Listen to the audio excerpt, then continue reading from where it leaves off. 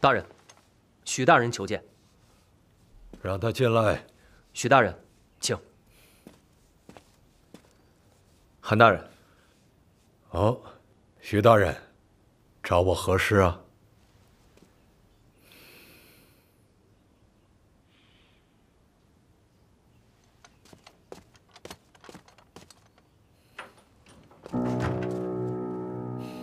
韩大人，恕我斗胆直言，你拿着朝廷的俸禄为官一方，岂能容忍自己的侄儿横行乡里，鱼肉百姓？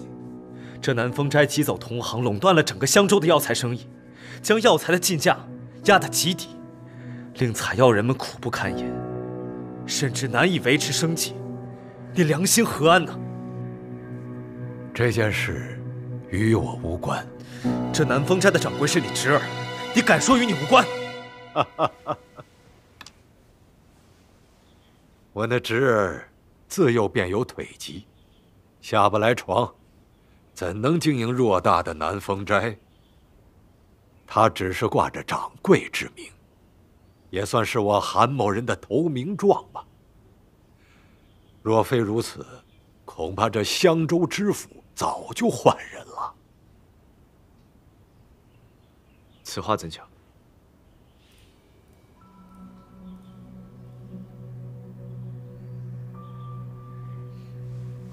韩大人，今晚下官做东，还请韩大人到潇湘驿馆一聚。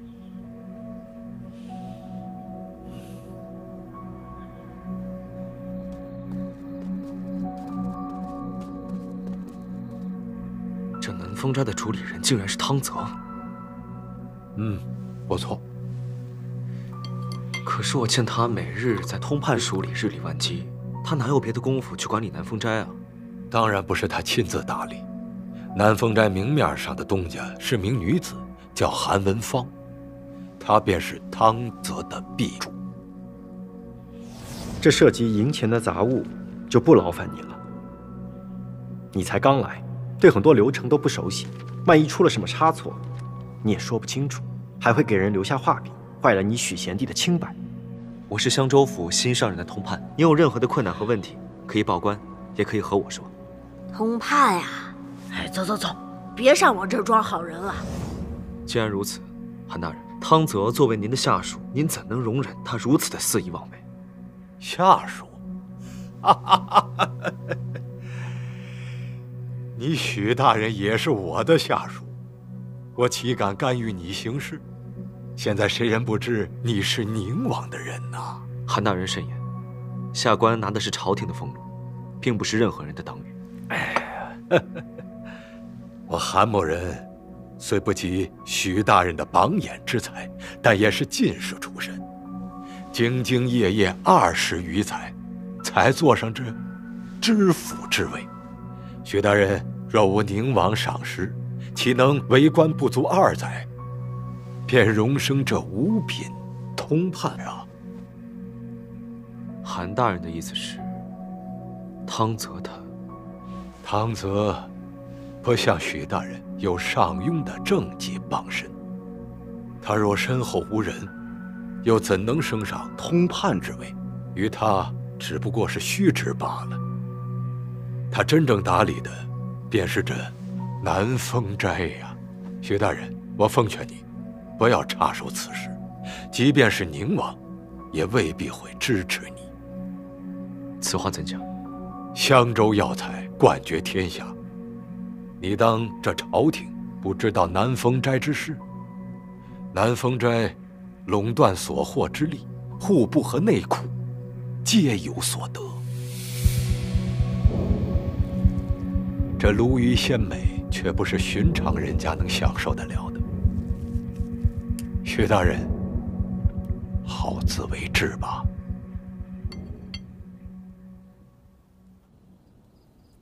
户部我知道，可这内库是什么呀？内库，就好比皇家的户部。户部不就是皇家的吗？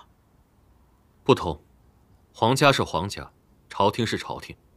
大哥，就这么说吧，户部就好比是胡家肉铺，这内库呢，就是您放私房钱的地方。我没私房钱，我真没私房钱。那就是大嫂放私房钱的地方。哦，那我就知道了。我只知道盐和铁是禁止私营，由朝廷垄断的。可是这药材也是吗？自然不是，不然他们遮遮掩掩弄个南风斋干嘛？压榨百姓，与民争利。朝廷就这点本事？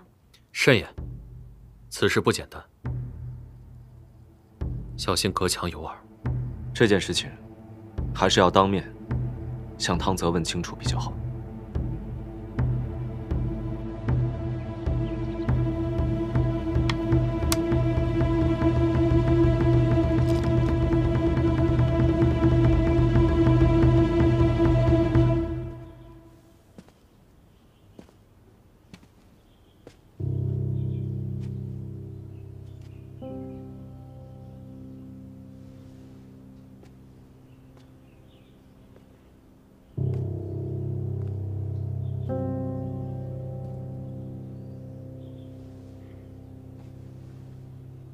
汤兄，我来是想向你询问一事，还请汤兄如实回答。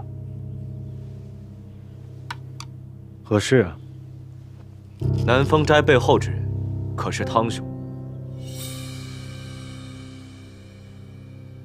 是谁告诉贤弟的？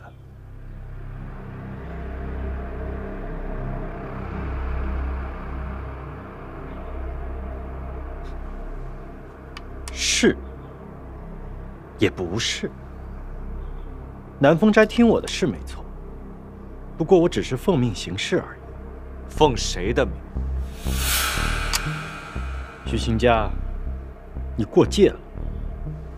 你不知道，证明你还没有资格知道。我既在襄州为官，就要替襄州的百姓谋福。这南风斋损害了百姓的利益，我自然要问个一清二楚。百姓的利益，这南风斋赚的银子都进了户部，用来赈灾开荒、养兵立马，这难道不是百姓的利益吗？若真如此，只需官家一纸文书，和盐铁一样，将这药材买卖归入官营即可。又为何还会偷偷摸摸打着南风斋的旗号行垄断之事？就算是户部为了百姓。那内裤呢？舌灿莲花，机巧善变，不愧是榜眼之才。那你既然知道内裤与此事有关，那自然应该明白，持君之路，忠君之事，上头怎么吩咐，你就怎么做，这才是为官之道。倘若上面的人让你贪赃枉法、卖官鬻爵、中饱私囊、鱼肉乡里，你也会照做吗？这么做，对得起贫苦百姓吗？你头顶的乌纱帽是谁所赐？你的榜眼是谁所赐？你每月的俸禄是谁所赐？岂有一样是你口中的贫苦百姓给你的？那都是朝廷给你的，许卿家。荒唐！若是没了百姓，又何来的朝廷？好啊，那就让你口中的百姓。罢我汤泽的官呢？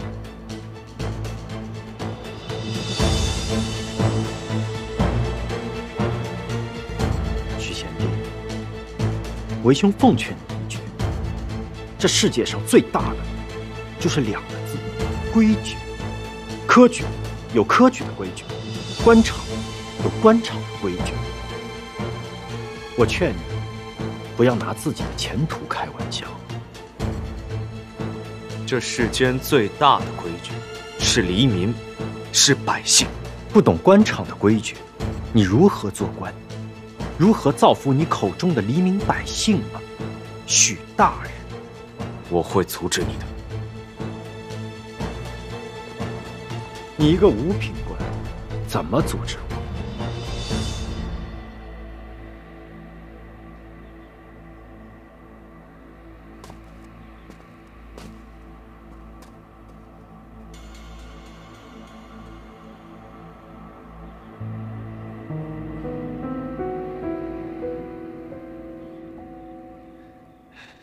到底该怎么样对付唐泽？准确来说，你要对付的不是唐泽，而是他背后之人。此人拥有不逊于假象的权势，至少是一品大员，还和内库有所勾连，说不定还有皇亲国戚也参与其中。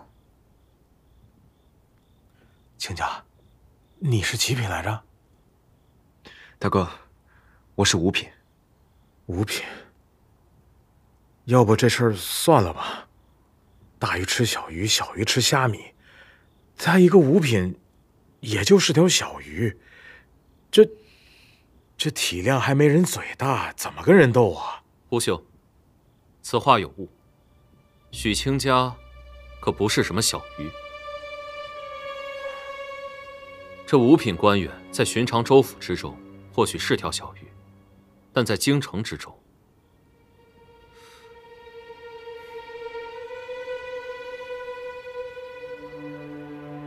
勉强是条泥鳅。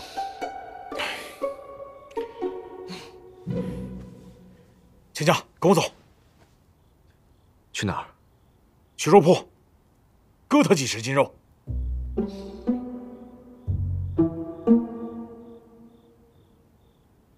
然后去给汤大人赔礼道歉。够了！这一品大员又如何？皇亲国戚又如何？他们就可以目无法纪、鱼肉百姓了吗？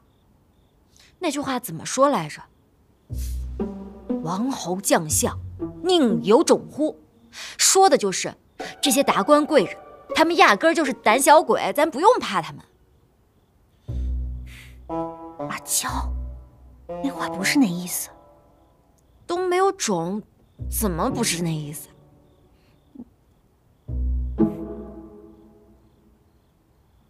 哎呀，不管了。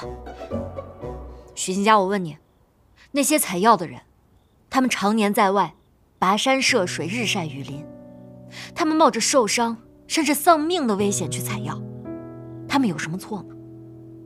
他们什么错都没有，却要受苦、挨饿、遭穷，那么错的。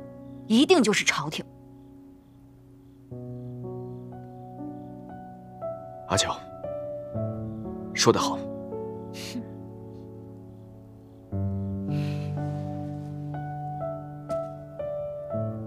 民为贵，社稷次之，君为轻。即便会得罪汤泽身后的权贵，我也要力争到底。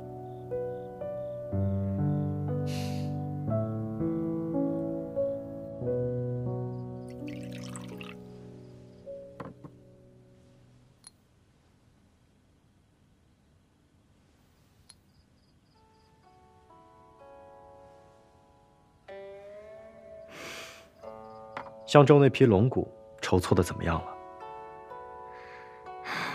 那位大人需要的分量有些大，目前还差两成。这龙骨挖掘起来不仅困难，有的时候还需要看运气，甚至多加些人手吧。如果不能按时上交，掉脑袋的。这香州龙骨乃谷中极品，极为稀有，价值千金啊！那位大人长年累月的用药，莫不是得了什么大？好了，不该问的别问。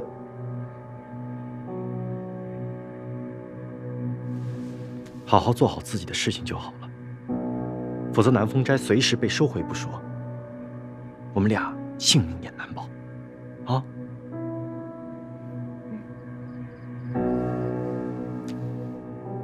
我知道了，泽郎，那许清家执意要坏南风斋的事，这该如何是好？他如何坏事儿？南风斋行垄断之事不假，但并未触犯朝廷的法度。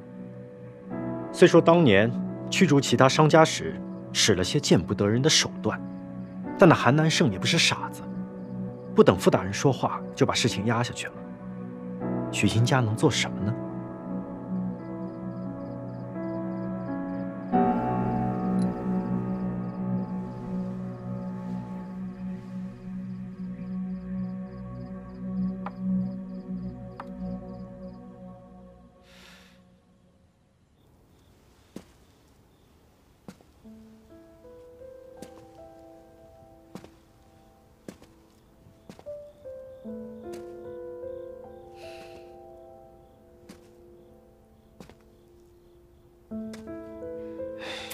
就别在这转悠了，鞋底都快磨穿了。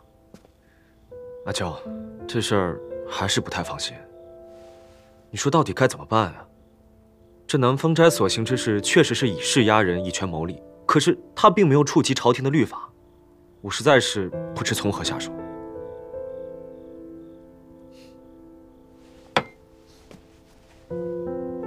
这还不简单吗？南风斋行垄断之事，可朝廷并没有明令禁止其他人做药材生意，对不对？其他人不敢去与南风斋争，是因为他们害怕的是汤泽，而我又不害怕汤泽。只要我这只出头鸟能飞起来，那一定能带动其他人也都动起来。这竞价的人一多，南风斋自然就无法再压低药材的收购价。行娘，您先去做饭，我来招待恩人。好，喝茶啊。恩人，您怎么来了？我是来收药材的。可是上次你千万别担心，上次伤了我大哥的那帮小混混，今后不会再招惹我们了。既然恩人您如此有把握，那我愿意试一试。若此事能成，你不光是我华拓的恩人，也是整个象州采药人的恩人啊！哎，你莫要这么说。虽然我比南风斋价格高出五成，但我也大大的占了你们的便宜呢。行，今日我便先告辞了。真的假的？你没开玩笑吧？绝无半分虚假。我恩人说了，收药当日便钱货两清。哎哎，这行，这个好，这个真的。那可是我们把药材卖给了他，南风斋的人会不会找我们麻烦呀？之前也不是没有发生过。没关系的，我恩人可厉害了，你们放心吧，不会出问题的，是吗？哎，让开，让开，让开！起了，去去去去去去去那边去。今天天气不错啊，都不去采药，就这么闲呢？刚才说什么呢？我听有人说要把南风斋的药材卖给别人，这坏了规矩不是？什么规矩？谁规定这药材就是你们南风斋的？况且你们南风斋一分钱定金都没给过我们，这怎么就是你们南风斋的药材了？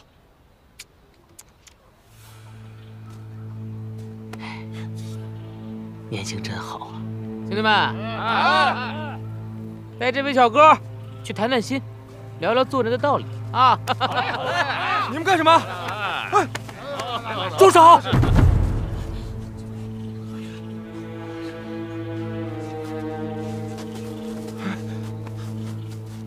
哪儿来的傻子？赶紧滚！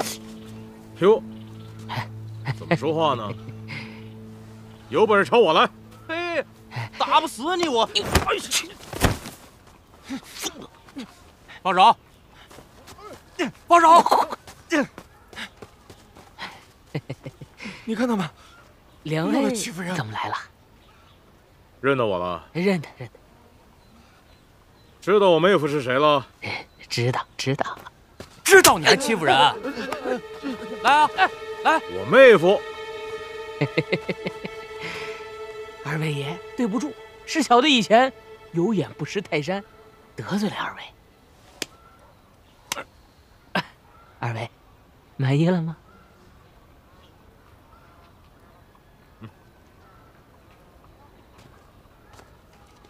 滚！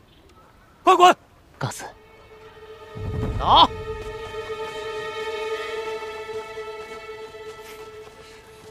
哎，乡亲们，这两位便是胡老爷和永寿。诸位乡亲，我胡后福最看不惯的就是这种鱼肉乡里、欺压百姓之徒。嗯，他们以后再来，尽管找我妹夫，他是咱们襄州通判。多谢多谢多谢多谢谢谢了谢谢了。没错没错没错，九爷，我跟你说，我这个手今天算是开过光了，对对对，不洗它了。对，不要洗，不要洗它了，痛快，很久没这么痛快了。对对对，妹啊，我跟你说，真让你猜中了，那些坏人都去了。可是你猜怎么着？我一提妹夫，全怂了，屁滚尿流就跑了。他们以后再也不敢去欺负那些村民了。就是就是。高啊，妹，厉害！你手怎么了？我跟你说啊，以前在上庸，我虽然是衙役，但一直都是挨打的那个。只有今天，我才体验到什么叫狐假虎威。什么感受？舒坦，太舒坦了。可是南风斋应该不会善罢甘休吧？你就放心吧，日后若是他们还敢玩阴的，那就真的落到行家手里了。行家，行家。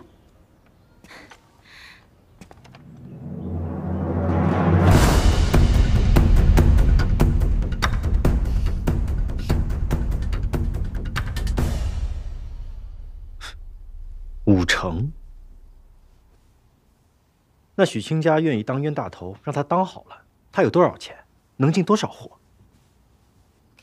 泽郎，你可莫要小瞧了此事。这生意上的门道啊，你还不清楚。这胡记药材铺自然是没有多少本钱，可是襄州做药材生意的大户可不少啊。此风一开，今日是胡记。明日便有李记、张记、刘记冒出来，这药材的价格就压不住了。怎么，他们家家都有个襄州通判？我动不了胡记，还动不了他们。那他们要是把钱交给胡记，让胡记代买呢？再或者入股胡记呢？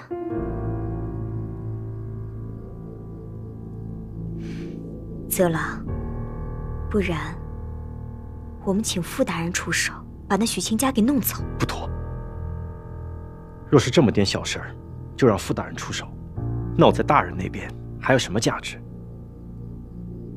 况且，许清家有宁王的庇佑，若是真把他怎么着了，宁王拿傅大人是没辙，但未必不会把气撒到我的头上。你认为，傅大人会保我吗？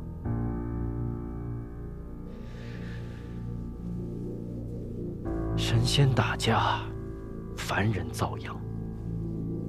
棋子在爬得更高之前，随时都能成为弃子。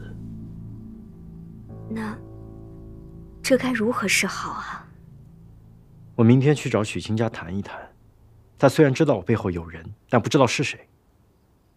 我倒要看看，他知道了之后，还会不会这么硬气。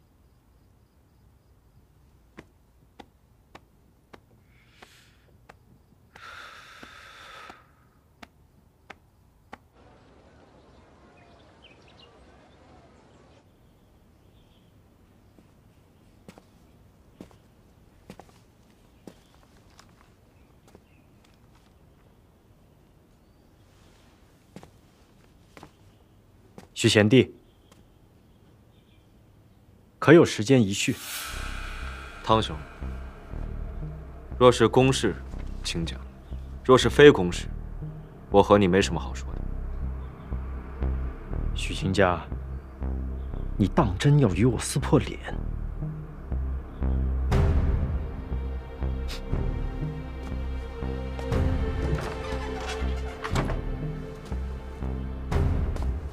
你以为放上了宁王，便可以肆无忌惮了。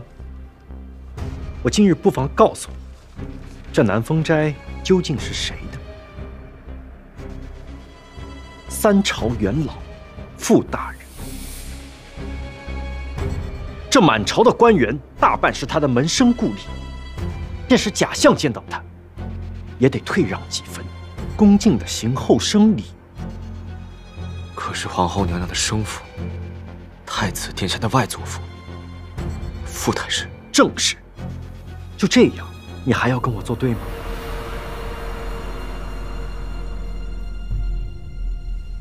唉，其实，只要你肯归顺于我，不再和我作对，我定会在傅大人面前替你美言几句。待我高升回京之时，自然会带上你。这宁王和太子，哪个山头更高？你不会看不明白吧？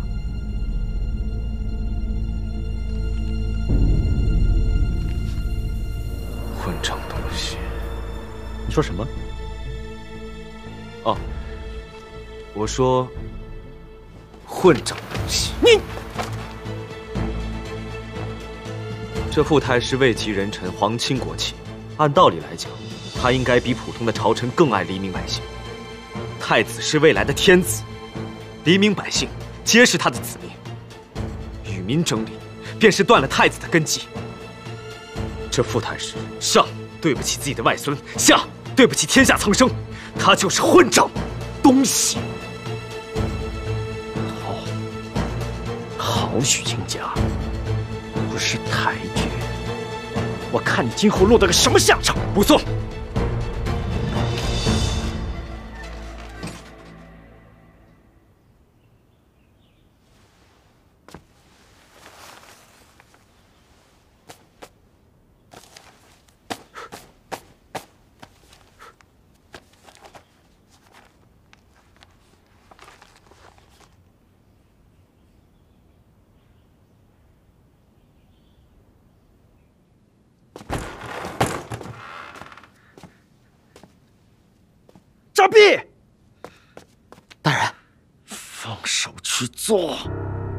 是。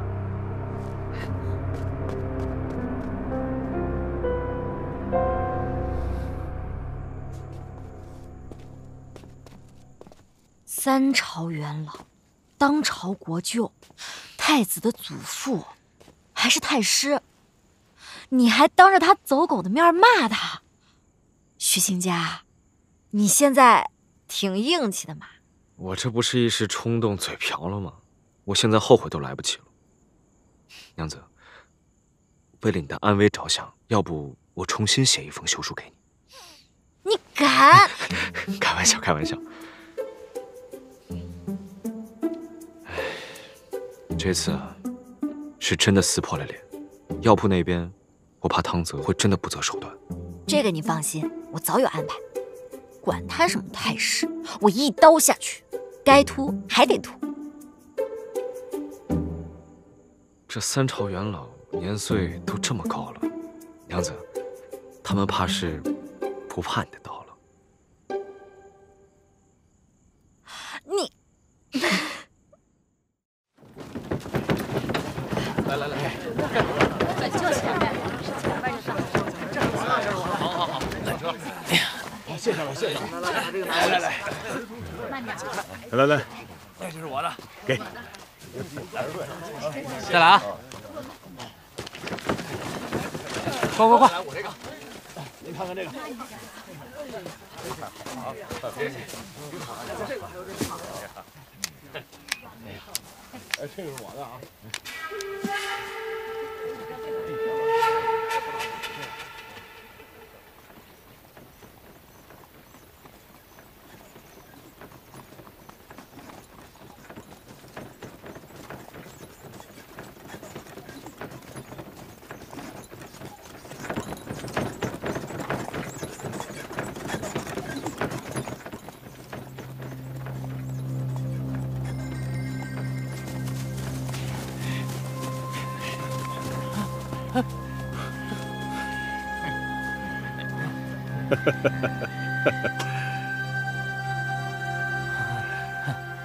诸位好汉，有何吩咐？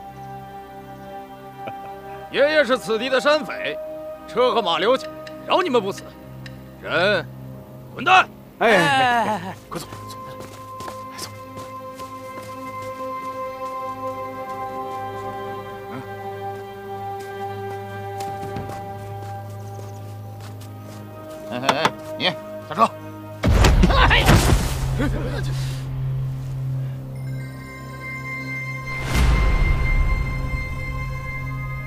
你们犯了三个错。误：一，山匪从来不会自称为山匪，都会说自己是哪个山哪个寨的；二，山匪都是一群把脑袋别在裤腰带上过日子的人，根本不会保命；三，你们没我专业。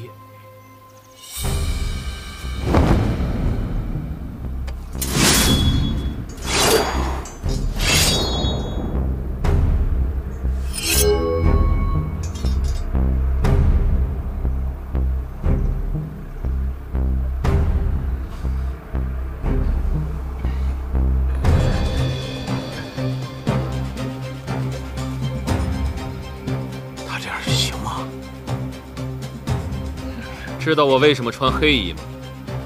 呃，不知道，不知道。因为剑上血，看不出来。快跑！滚！滚！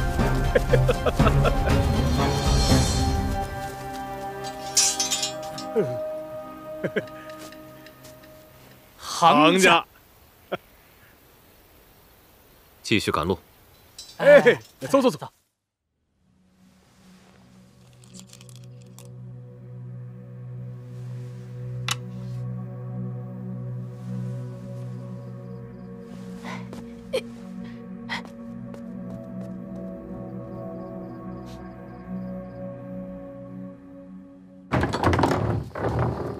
哎，大哥，哎，其他弟兄呢？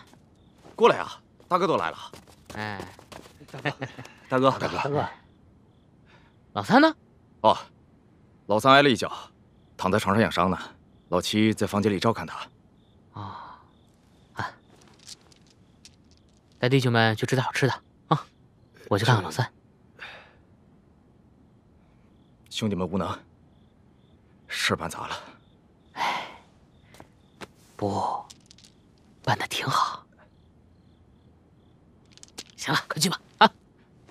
还愣着干什么？还不谢谢大哥？行了，快去吧，快去吧。走。哎哎，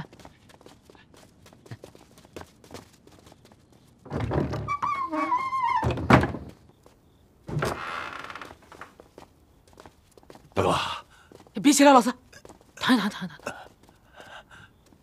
怎么样？还行。哎，老七，他们都去吃饭了，你也去吧，我来照顾老三啊。哎，快去，快去吧。好嘞，大哥。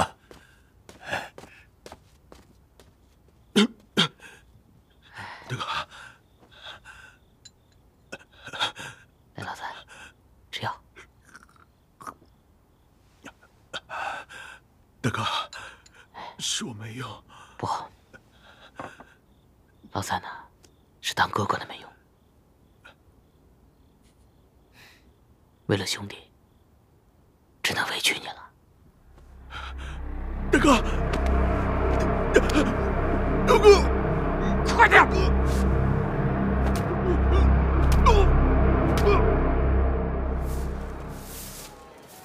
都来看看啊！来来来，胡姬药铺打死人了！那个，都来看，交出来！打死人了！胡姬药铺打死人了！夫人，门口有一帮人抬着尸体过来，说咱们胡姬药铺杀了人。杀了人？虽然他们换了衣服，但应该就是昨天扮成山匪打劫咱们的人。有诈。昨日那一脚虽然不轻，但绝不致死。那人是昨天自己爬起来跑掉的。对呀、他他自己跑的。走，咱们出去看看。就是他们啊！无忌药铺打死人了，交出凶手！就是他们，就是他们！胡姬，交出凶手！官，偿命！交出凶手！吵什么？杀人偿命！别乱说。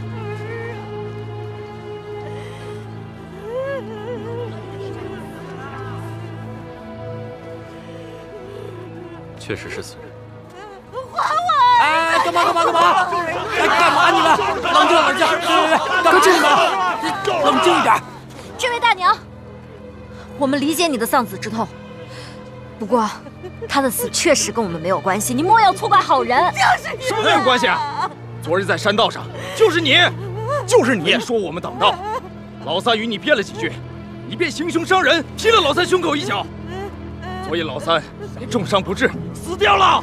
就是他干的，就是就是他，就是他杀的，干什么？别乱说。就是他杀的，就是他，就是他没杀。昨日我确实踢了他一脚，但绝不致死。况且我朝法度，如遇山匪路霸劫道，即便是打杀了，也无罪。你说人你乱干啥？别乱说，我没杀人。孩子怎么就是山匪？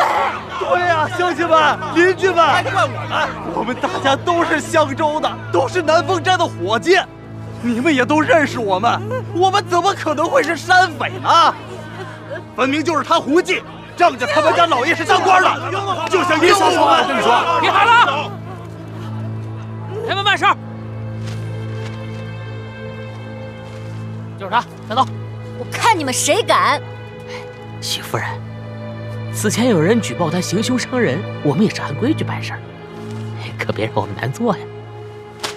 哎，分明就是栽赃陷害！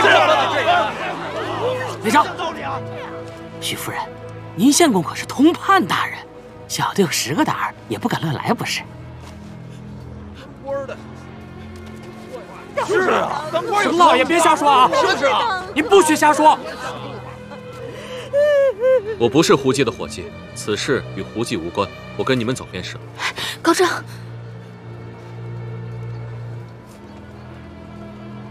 没事。带走。走。阿娇。走。永寿，赶紧通知许清家，我们有可能被南风斋设计陷害了。好。这这胡记简直是欺人太甚！老三可是店里的老伙计了，不能让他不明不白就死了。你得严惩这个高正。国有国法，杀人偿命，你不用操心。倒是让店里的人把消息散布出去，咬死了高正是胡记的人，明白吗？好，大人，扎币求见。进来吧。你先出去吧。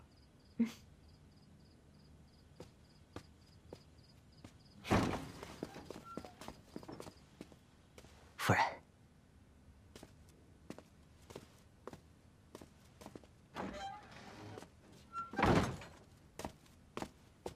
大人，怎么判的？果然如大人所料，兄弟们咬死了和胡记的人，在路上相遇，发生了冲突。胡记没有我们抢他们药材的佐证，双方便各执一词。但那高正承认了伤害老三的事实，虽没办法直接证明老三就是死在那一脚下，但主审的段公曹迫于压力，也只能将高正收监了。老三的尸首呢？已经交给仵作，仵作也打点妥当，明日便能将高正定罪。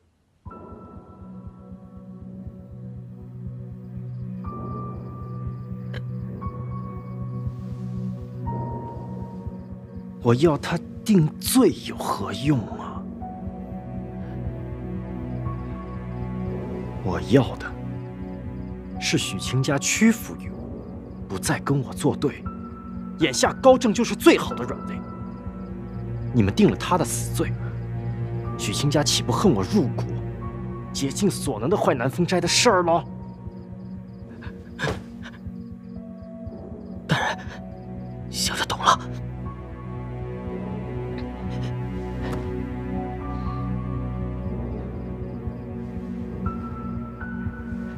谢大人。这高正本是上庸的县尉，身手不凡。有他在，你们的确很难动虎姬，让他在牢里吃吃苦头，关着便是了。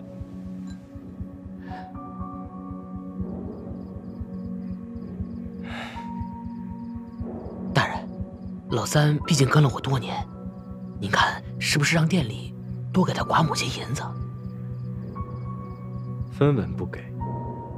如果他母亲拿了银子不闹了，段公曹将高正又给放了，我岂不是人财两空了？明白，小的告退。去吧。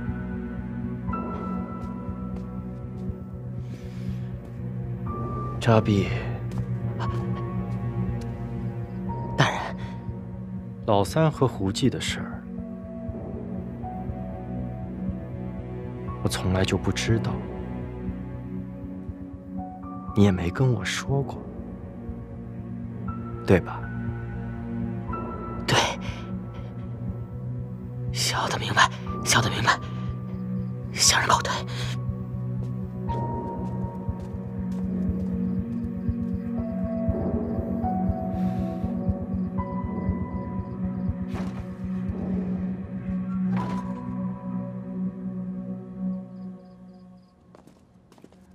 老爷，大家都在前厅等您呢。知道了，你去吧。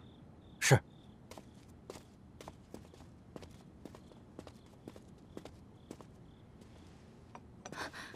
徐大人，高正呢？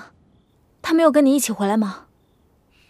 高正被关进牢里了，先坐下吧。稍安勿躁。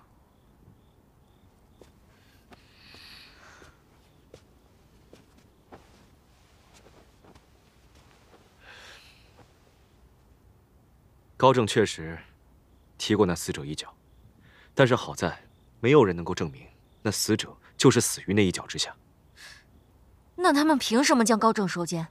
那帮路上打劫之人，皆是南风斋的伙计所办。可昨日没有人能证明他们是打劫在先，所以无论如何，高正也是伤了人。站在衙门的角度，暂时将他收监，也并无过错。我也询问了主理此事的段公曹，他暗示过我，如果死者母亲那边能够安抚下来，此事便能够从轻处理。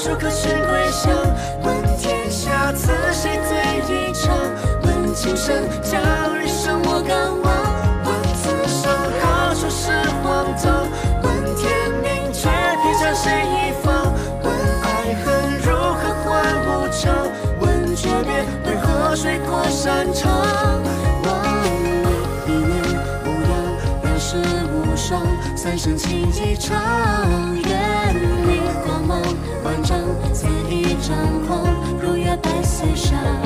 望你一念无恙，两世无双，三生情一场。